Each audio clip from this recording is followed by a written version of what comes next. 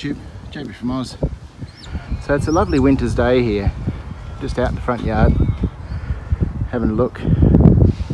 Got a honey eater up there.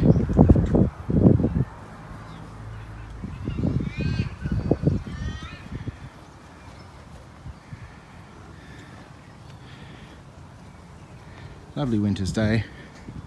Just thought I'd have a look at the winter verge as saying we planned this garden to be winter friendly so that the afternoon sun which comes from behind me still allows itself into the house.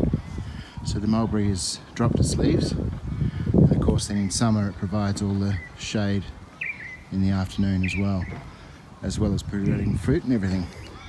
One of the other things that we get is an opportunity with these lupins that just come up every winter is all helping to build the soil underneath this and drop situation.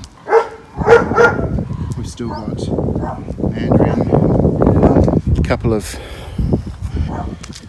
sweet potato in the ground there. They're looking good. And then uh, Tipuana Tipu was in here somewhere. A drumstick tree. Where's it gone? Oh, there it is. Little baby drumstick. Just this one down here. So just got some new growth on the top of it. Hopefully that'll survive.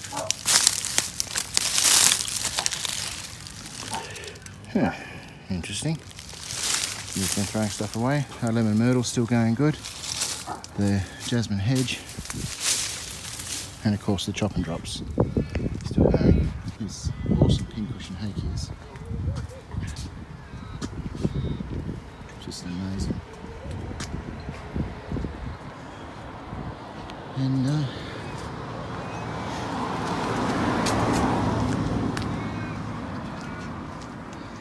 over through this side, we've got ice cream bean, which is finally looking like it's gotten its feet wet. And this year we actually had a pecan off the pecan tree, the very first pecan, so that's coming along. Chocolate sapote in the back there. California poppies are coming up again, which is great. Nice ground cover. And here we have another moringa, another drumstick, which is also looking like it might survive this year. We get so much wind down the uh, driveway that it's very hard for anything to survive here. So really pioneering as the go. Over on this side, got a self-seeded wattle, which is uh, just flowering at the moment.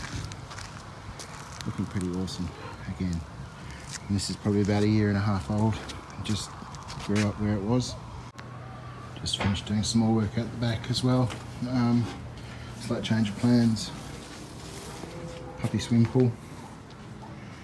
And sorted out some more favourable running surfaces for them and changed out the granite for this limestone edged paving.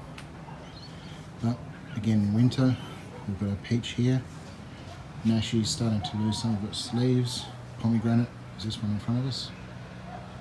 Uh, plum is this one up here. Um, that's uh, another peach. So all the deciduous plantings over this side here. And this is the side of the house. So we've got bathroom, laundry and kitchen. So morning sun, uh, east is this way, north is that way, west is that way. So the sun comes up in winter, so all those leaves are gone and we get that nice warming sun in the morning. So as far as planning where your plantings are, that's the theory here that we've used some deciduous plantings. This plum here looks to have uh, a bit of an interesting sort of prospect. It's dropped its leaves above the fence line, but below the fence line it's still quite green. So drops its leaves, probably in a combination of the wind and also the change of weather. Further up in the garden, at this end here, we've got an apple, a black sapote and the mango. And down here we've got another apple and an orange that'll grow in and fill up there. And so in those placements, we're actually choosing not to have deciduous because we want a bit more screening of the outlook from the kitchen out through into the neighbour's property. So you screen your bad views, you open up for your solar elements for winter. Then in summer, we'll look to have more shade over the house as this tree grows up. And also as the apple grows up on the north side, that will give nice shade in summer. Um, and then obviously when summer hits, these guys here will also be doing stuff. Um, yeah, so the other part of it, obviously lots of edibles and herbs and stuff through all sorts of different stuff in the dog run. Again, trying to control where the boys play their stuff. But um,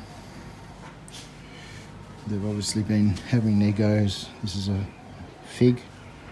Chopped the top off that a few times. We've lost the top of the orange there and the top of that apple. So hopefully they'll survive once the boy loses his taste for chewing the tops off trees. But yeah, just a quick update on the winter view in a permaculture garden. So um, yeah, looking forward to some plums this summer. They'll be lovely. Absolute stacks. Thanks for watching. Hey Wade, say goodbye to everybody. Hmm? Good boy. Say goodbye. Oh, goodbye. Sleepy time.